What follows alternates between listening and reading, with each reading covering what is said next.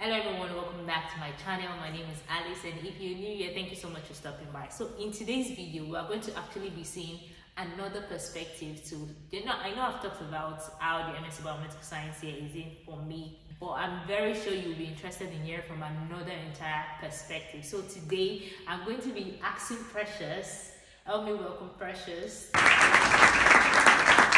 Precious is a colleague of mine. We have totally different um, background, academic background. So I'm just going to be getting a different perspective of how she sees the program. So stay tuned and let's get right into today's video. So Precious, thank you so much for joining me today. My pleasure. So now, basically, you want to just introduce yourself to the house? Oh, okay. Um, hi everyone. My name is Precious. Uh, as she said, um, I'm a current student of um, biomedical science at this University of Salford. Uh, I'm just me, a work in progress. Period. So now the very first question I'll be asking is, what did you do in your undergraduate? Like, what did you study for your bachelor's degree? Okay, and so where? I studied applied microbiology and brewing. Um, majored in medical because we had medical and um, brewing. So I majored in medical microbiology in my finals, and that was at the Nnamdi Azikiwe University Oh, in Nigeria. in Nigeria. Yes. Yeah, but if you don't know, Awka, Anambra State. The second question I wanted to ask is like, so what was your expectation when you were coming to the um, Salford? Like, obviously, when you picked MSc Biomedical Science, what was your expectation for the program initially? So, thank you for that question. So, you know how before I came over here, I've always heard that yes, in the abroad, even if you're a dunce, come here and you are up there. Yes, And then, do you get? And then, to be honest, when I was coming, I felt like they have all the state of the art um, settings for you to make your learning so easy, and that's why they say even a dunce can actually succeed here. And that was the mindset mindset I, I came with like knowing that maybe or with the mindset that once I start the masters, everything is there, is hands-on, is practical, back to back with my studies, and then I mean I get to shine wherever after the afterwards. So that was the expectation. The third question I would like to ask, what do you think has like stood out for you for the program? Like so far, like since you started, like what has like what's the one thing or maybe two things that you can say, oh, this stood out for me in this particular program? The thing that stood out for me here is the fact that here I get to understand that yes, there are a lot of information in on the internet, but then there are things called primary articles, like they write information. Here taught me to know how to gun for the primary articles to get the right information. So that's one thing that stood out for me in this place. It it's kind of what's that word now? Like gave me a total A change of perspective or different perspective exactly as to how to source materials online, how to source genuine materials online, and how to really get the the accurate information out there. So that's one thing that stood out for me. And then the second thing is that the fact that our assessments here are based on you going to do your homeworks and then coming back with uh, information like they make it they make it such that we get to really know what we're given not just rush up and submit assignments and all of that they make you research into it and then you get to like put up your thesis together and by so doing you get to have that knowledge at the palm of your fingers All right, thank you so much for that. Now, so with your background, I know you did applied microbiology. Now, so with your background, would you say like the MSc Biomedical Science has been a plus for you? Like, has it basically been a plus? Like, could you say, oh, okay, this was the best course I could have gone for, or there was like there are better courses I could have gone for, basically. So, has it been a plus for you with your background? Well, that's somewhat tricky. Um, tricky in the sense that, um, yes, I've always loved to go back to my whole healthcare job back in Nigeria after my university. After this, after, after my service year, I actually went into renewable energy. I'm a solar expert. Anything renewable energy as regards to solar and all of that Yeah, I deal on that. So uh, imagine leaving that healthcare sector and getting into um, the renewable energy industry for years, and then back to my first love, which was the healthcare environment. Um, coming here, the expectation was actually that I was going to be saddled with lots and lots and lots of hands-on um, experience, practical wise, while doing my masters as like an edge to what my first degree was, and that was the whole aim of coming here to run the master's program to basically have that hands-on experience, like back to back. And then to also kind of refresh all the whole lab memories that I have lost in past years.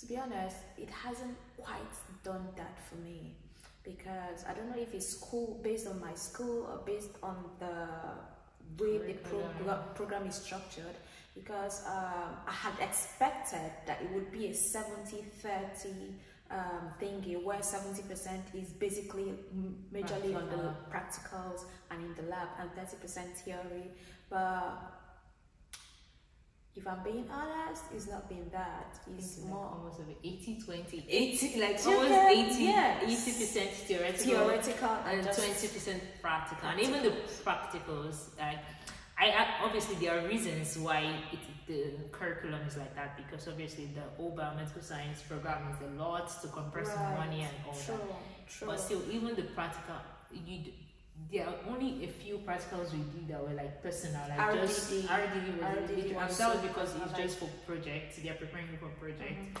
But majority of it, like I could be in a group and not work at all. like you could be, you could be paired up and decide that you know what, I don't want to touch anything today. I'm not going to work, and so it wasn't. It's not really a lot of It wasn't. It hands-on practical. So. I think that's. I don't know if it's same for everywhere, but I think for Salford basically it's not Mhm. You don't get that hands-on. hands-on practical as much as you would love to. So I think it still depends on what you're looking out for from the program. Exactly. Exactly. So now uh, the next question I'll be asking is like, what do you advise people now? I, I've had people message me like, oh, I'm doing microbiology, I want to come for MSc biomedical science, and I'm at Salford.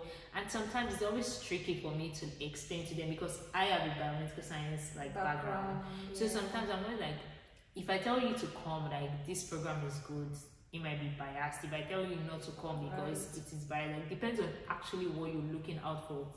It I don't know. From, Right. For me, it's I was saying something it might not be a plus or minus for me because I already have the background Mhm. and all that. And some also come like, oh, want to practice and I want to do HCPC and all that. So since you're in the field, like how would you what would be your advice for anyone coming from maybe you doing microbiology and saying, Oh, I want to come and do MSc biomedical science? What would be your advice for them? Thank you, Alice. Um, to be honest, you just you just hit the nail there. There is no right or wrong answer to this, and there is no there is no one straight answer of one straightforward answer to this question. The prob- the thing is, you have to know what your end game is. Like if I had probably listened to something like this before I came here, I would have been very um what's the word now? I would have been very select. I would have been careful in the school of choice because, to be honest, why I came to Salford was because um, the international, the diversity is Yeah. one hundred. True. Like, do you get? And then they are so inter- international student friendly. Like they work to make sure that you are okay. The school is set up Yeah. that way, and then of course it's really include like inclusion their is, inclusion is is, really yeah, great. they have, they, they have a very high uh, inclusivity rating. Um, but then, if I had known about this whole part that I wouldn't be getting the hands-on experience I had planned, I may have probably looked out for schools that could give that. So my advice to whoever is in my field uh, and trying to come onto this lane is for, for Annalise now, she wouldn't have a problem because I mean she's HCPC certified, I am not. And another thing, Salford does not have, my school, University of Salford, don't have that accreditation for biomedical science. You know, that'll probably get you into the IBMS field as an accredited, IBMS accredited university. With that, you can now say, okay, let me just apply straight on to um, get your HCPC and practically and, and now practice in the clinical laboratory. But then, um, from what I gathered, it's not a lost cause. It's just that one might have to. A me that doesn't have any HCPC registration might have to probably do a little extra work. Now, it also depends on what school you went to and what courses you did in your biomed because there's a webinar that was that we had like a few days back and it was basically on this HCPC thing and the information out there is when you're ready, they'll compare what you've done in your first degree versus what you've done in the what, what I'm doing right now or what I'll be concluding on based on biomedical science uh, masters right now they checkmate. And if you tick all the boxes on those certain courses they require for you to be um, HCPC mm-hmm. certified they'll give you HCPC um, certification straight on otherwise they'll just suggest to you certain courses that needs to be added. And just look for a school that you can do that on. And just on, run the program. and just run that particular yes program. And I, I had is like 600 pounds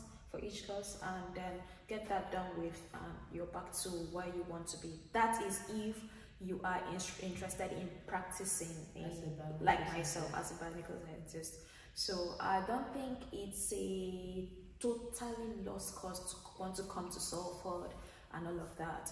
Um, but then you may want to save yourself a few more, maybe time and money, money by probably doing a due diligence to as to what you need. you need if that school that you're interested in offers it and I guess that would really help. Thank you so much for that. Now, so what do you think is next for you regarding like let's look at the academic part. Like what do you think is next? How would you foresee any challenge or something that will be a benefit? You know how for example um, let me just use a rough example like maybe now as a biomedical scientist here you're like oh maybe not having a particular maybe not having UK experience like for me now I'm applying and a lot of people are saying oh UK experience and I'm like oh I know this is going to be a challenge for me.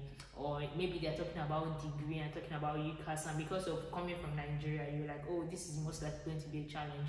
So for you, for academics, like in career advancement, now, what do you think will be a challenge? What do you foresee that?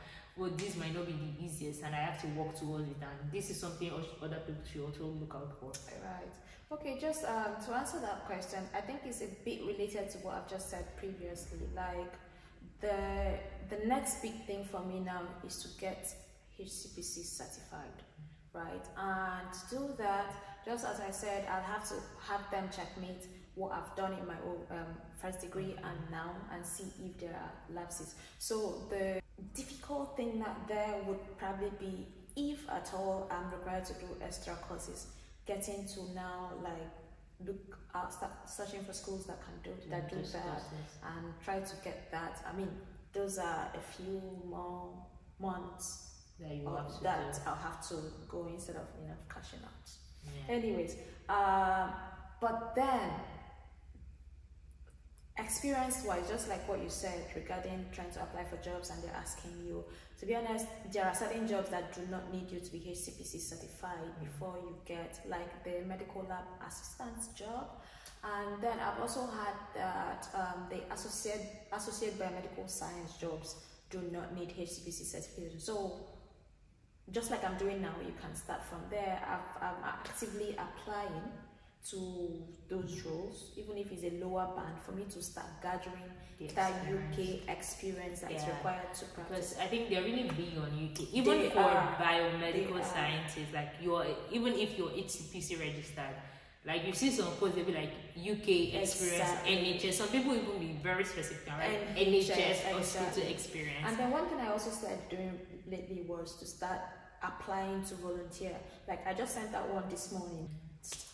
It's not about the money now, it's about the bigger picture you get. Yeah. Getting that experience, getting that reference to back up the bigger pay that I'll now be applying later. So mm. it's a win-win situation either ways. It's just that as I, as you asked, the challenge would be that time, time to take you off of making money by volunteering one and then that time as well that you probably have to use little you saved to probably invest in those courses that you're supposed to top up with but then I feel it's just for a greater good. Yeah, and I think every, everything in life is about. You have to you have to put in something to get something. and let me drop that uh, this out there, right? you see this course, believe it or not, is a hot cake. There are need for biomedical scientists here.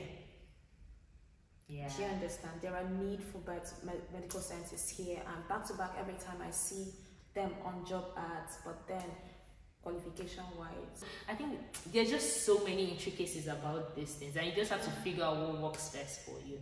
But thank you so much, Precious. It has been awesome having you on this channel. thank you. Thank you so much for honoring us, Thank and you. it was wonderful having you on this channel. Pleasure so much. And hopefully, we're coming back to talk about when we get our job on the Monday, when we're bullied. Actually, actually, spread. As we just come and just, by the time we come into this video, like you will see the money, you see the glory all Oh. around. this this look will be a different look. Look at this picture. Ta- Take take a picture. Take a look. Take a Take a look. picture. Give us few more months. You know that that, that Instagram like that's a marble one. I'm gonna use this. Thank you so much. with you. Alice. It's always a pleasure. love. All right. Thank you so much. Cheers. Please do not forget to like, share, comment, and subscribe definitely thank you so much See i come your way in another video thank you bye. bye.